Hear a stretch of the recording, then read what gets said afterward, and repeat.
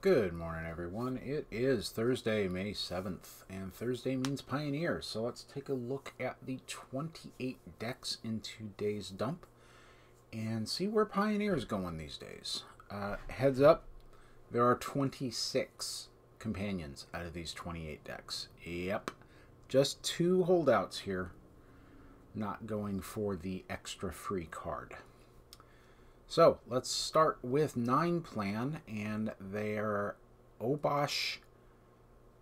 Uh, is this mono red? Yeah, Obosh mono red. And that's pretty straightforward build. Pretty much all your best one and three drops. And do we go up to five? Nope. One and three. Drawback, of course, with Obosh is you can't run Embercleave. That's definitely a, a drawback. Kasa gets a 5-0 with a Lurrus. Uh, this is the Lurrus Boros Heroic deck. Um, it shows up on Goldfish as Boros Feather, but don't be fooled. There's no feather in it.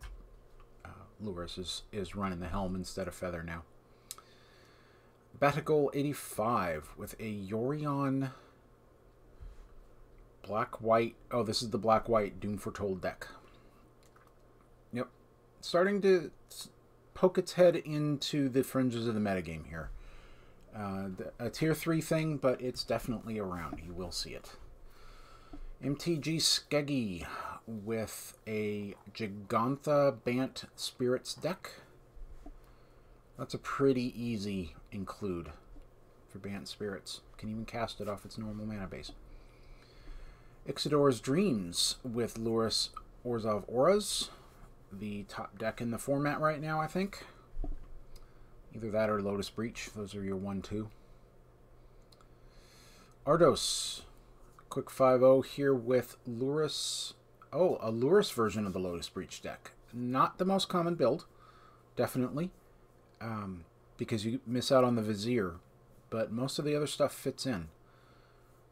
Uh, any tricksy stuff here? We do have an Ugin the spirit dragon hanging out in the sideboard. That's kind of interesting to get with your Fae of Wishes. Heather Ripal with, huh, a Zirda cycling deck. That's kind of interesting. Just six creatures, but we do have the four Shark Typhoons. That's kind of wild. Castle Vantress. No. I would be interested, I think, in including uh, the White Castle in here. I think to get tokens. Just, I feel six creatures is a little low, but that's me. Zenith Flare makes up for a lot of ills, though. That's I, I like that.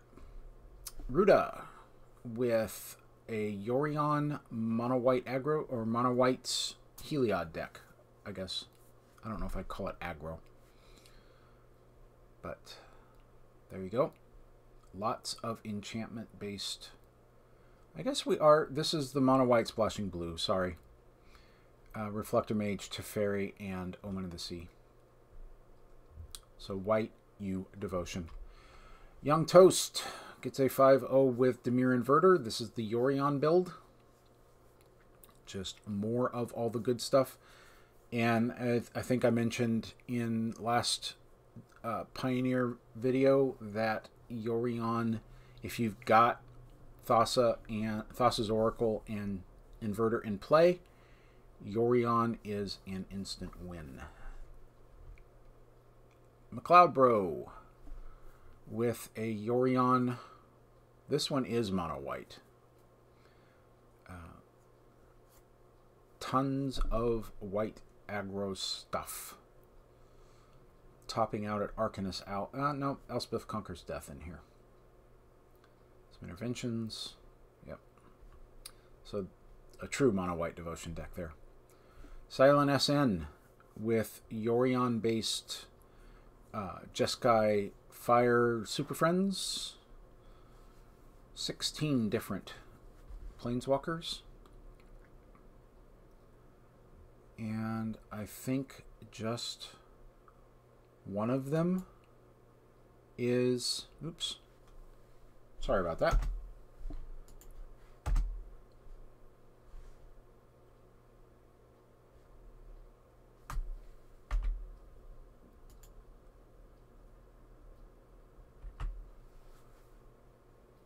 Alright, let's get back to things. My apologies there. But anyway, just Jeskai Fire Super Friends. What I was going to say is just one of these Planeswalkers is pre-War the Spark. And that's Gideon of the Trials. And that's only in there because of Inverter. Pastel Zero with a Lurrus-based... Uh, this looks to be Sultai. Just kind of a Sultai as mid-range as you can get when all your permanents are two drops. Dead weight for removal. Unbridled growth. Interesting little deck. Hirio 9, or Hyor I 9, Hiyori 9? Hiyori 9. Hiyori 9. Something like that. Lurrus based uh, Orzhov Rally.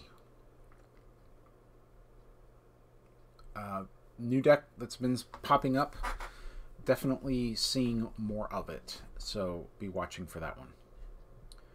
Kurvagen High with Yorion Jeskai Fires.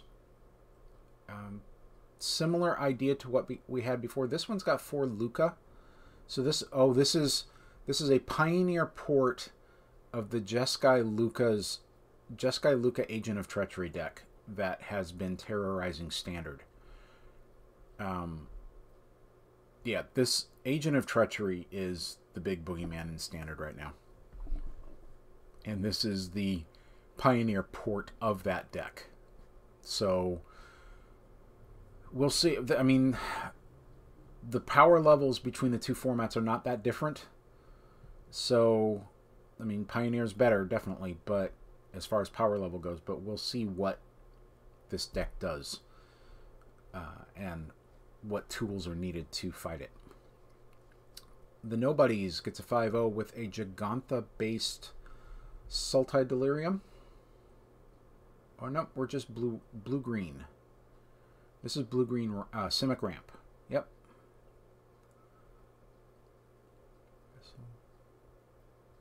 Up to Emrakul, Golos. Sort of a ramp deck better. I think it's better. You know, it's more categorized that than anything else. Needs weeds with no companion, and this is mono black aggro. Uh, can't run Obosh because Rankle is so good, and that cancels out Lurrus. You can't run uh, Keruga because you need all your little ones, ones and twos. So this deck kind of loses out on the um, on the companion train, but pulled off the 5-0. Nice work. Darkius, Darkusun, Darkundisa, I don't know, something like that, with a Lurrus-based Hardened Scales deck. No real surprises in here, except maybe the Kroxa in the sideboard. That's a little interesting. Uh, this is a black-red deck at heart. Not the black... Oh, this is Ensoul. I'm sorry. I saw the scales. I didn't see the Ensoul artifact. This is interesting. So we're Grixis. Grixis Ensoul. Okay. I'm, I'm up for it. That's interesting. First time I think I've seen these two put together here. Metachai with this is the Abzan Rally deck. I think it's just splashing green to help with Fiend Artisan and Satyr Wayfinder. Uh, Kraul Harpooner in the side.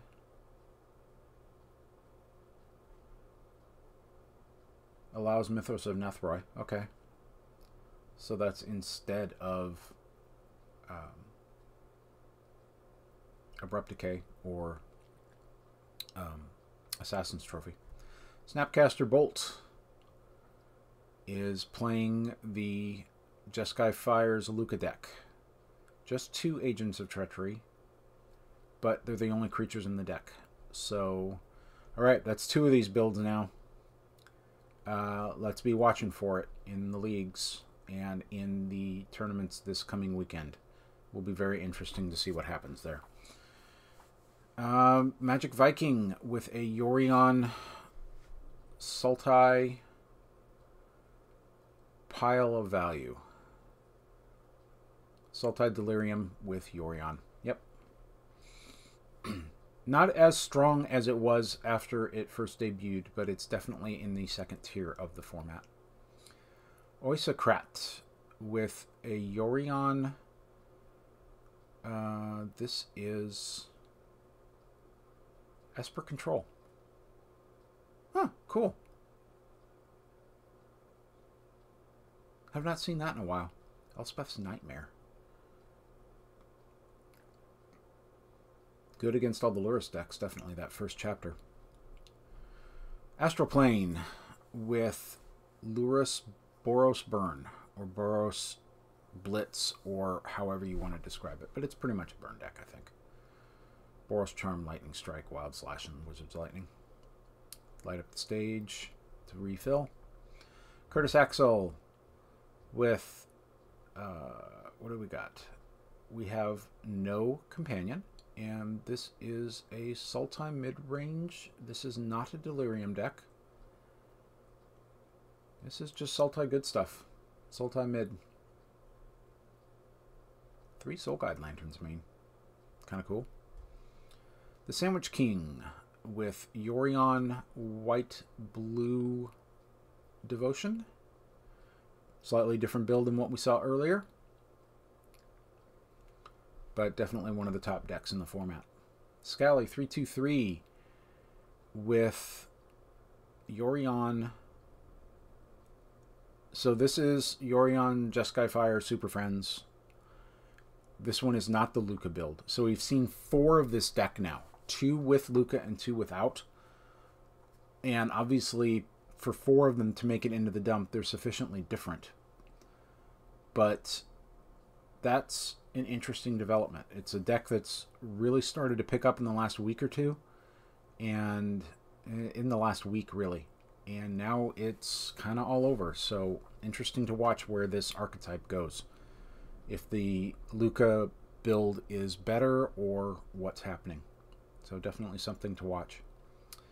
CS MIDI gets a 5-0 with Lurrus Hardened Scales, and this is the Abzan build.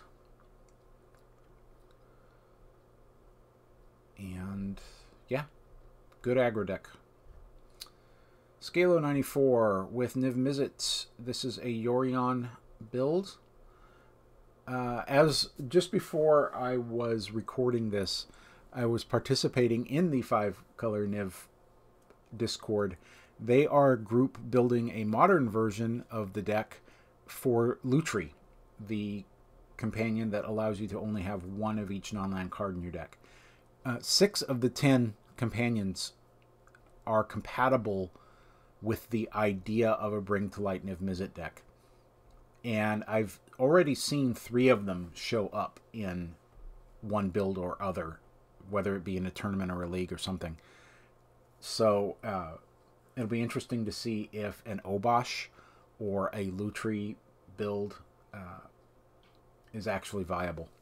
So yeah, Niv Mizzet. Um, this is a Traverse Ulvenwald is a little unusual for the deck. Um, Trial of Ambition is nice to have if you've got Yorion, definitely. Uh, so, a little bit of a different take on the deck. A few, a few cool new card choices, but yeah, this is one of the primary builds of the deck. Aspiring Spike with our last deck of the list, and we've got um, this is is this Sultai Traverse? Sultai Delirium? No, this is Abzan Delirium. That's kind of cool. Lurrus. Almost an Abzan aggro deck of sorts, maybe mid-range. It's hard to say mid-range when your creatures are so small. But yeah, so we saw a bunch of bunch of com companion stuff, some interesting develops developments here with the um, Jeskai Fires lists. That's going to be something to watch. We had 12 Yorion decks, 10 Lurrus, 2 Jegantha, and 1 each for Obosh and Zirda. And yeah, that was it for today. Uh, hope you enjoyed what you saw. If you do, do please hit that like and subscribe button and that notification bell so that you know when my next video is coming up. And we will be back tomorrow with Modern, and that'll be the end of the week. So uh, have fun out there, stay safe, and uh, sling some cards. Talk to you soon.